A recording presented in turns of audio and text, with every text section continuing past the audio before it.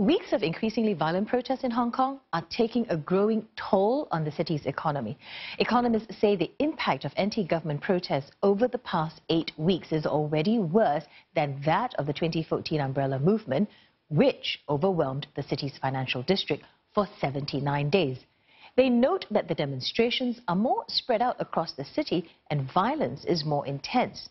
This morning, protests paralyzed the city's rail services causing commuter chaos. Commuters in Hong Kong were greeted with chaotic scenes during the early rush hour this morning. That's after anti-government protesters targeted the city's rail network.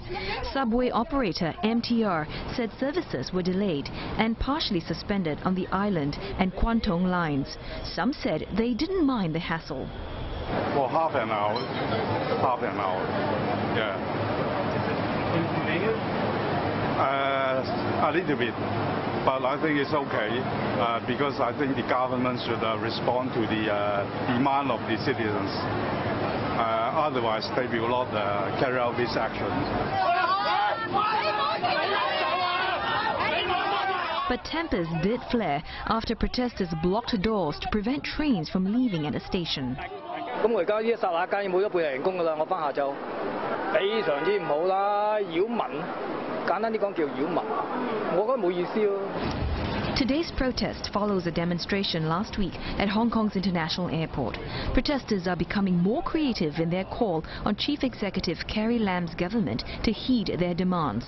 What began as a series of protests against the extradition bill, which would allow people to be sent to mainland China for trial, has now evolved into a wider backlash against the city's government. As Hong Kong continues to grapple with increasingly violent and drawn-out protests, police officers are demanding that Chief Secretary Matthew Cheung clarify what he meant when he apologized for the force's response to the Yuen Long attacks. Mr. Cheung is Hong Kong's second in command, and he made the apology after dozens were injured by a mob at Yuen Long railway station on the 21st of July. The police had apparently taken more than half an hour to respond to the attacks. Mr. Cheung's remarks provoked fierce backlash from police officers who were upset that they were not consulted before the apology was issued. Many also felt that their efforts had been written off. Well, for more, let's head to um, Hong Kong and speak to our correspondent, Roland Lim. Roland, do the police want Mr. Chung to rescind his apology? I mean, what are they expecting? Well, you know, what's in an apology? Well, it's critically important if you are the Hong Kong police that's been towing uh, the government line and trying to preserve law and order in the city and bearing the brunt, of course, of the angry protesters uh, in Hong Kong in recent weeks. Uh, there's been numerous criticisms, of course, over excessive use of force uh, with their clashes with protesters week in, week out. And that's why the, a meeting was held between uh, the city's number two, uh, Matthew Cheung, and the four major groups representing nearly all of the police force, the superintendents Association, uh, the Police Inspectors Association, Overseas Inspectors, as well as Junior Officers Association. Um, they uh, were calling on, they wanted really for the chief, uh, the chief secretary to clarify that the force was not absolutely apologizing to the public over the handling of the attacks uh, on the uh, Long MTR on July 21st. Now, Chief Secretary Matthew Cheung, as you said last Friday, said that the police response to that mob violence in Yuen Long uh, put dozens in hospital had, quote, fallen short uh, of people's expectations. That was his so-called apology. Uh, his office later claimed that uh, Mr. Cheung was only apologizing for the administration's handling of that extradition bill and not saying sorry on behalf of the police. Well, the police force, of course, under heavy fire from from the public and protesters for not responding quicker to the calls for help. Uh, scores of thugs dressed in white attacking commuters and journalists uh, in at the Yuen Long metro station. 45 people hospitalized. Um, so after his apology, a number of officers, as you say, taken to the internet to criticize the chief secretary's comments, uh, with some even calling uh, for his uh, resignation. So on Tuesday, uh, the chairman of the Police Superintendents Association, Ronnie Chan, says that while Mr. Cheung is entitled to state his views, he can cannot represent the police force.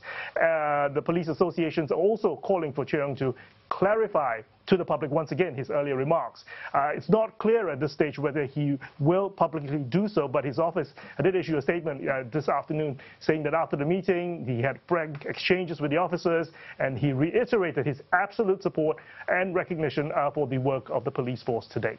Yeah, so Roland, what's then the impact of this rift between the police and the government?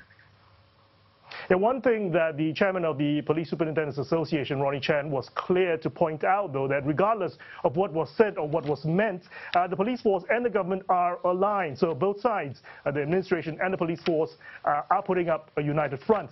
But of course, Mr. Cheung's uh, gaffe really is in sharp contrast to the central government's assessment uh, of the role of the Hong Kong police uh, has played so far.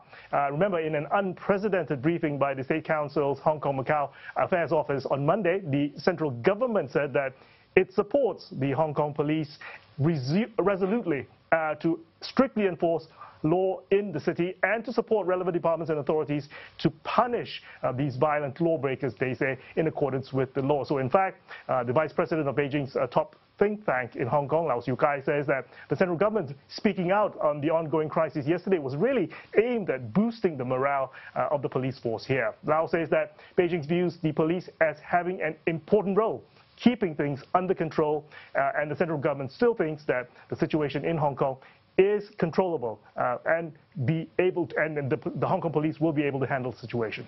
All right, many thanks for that update. Roland Lim speaking to us from Hong Kong.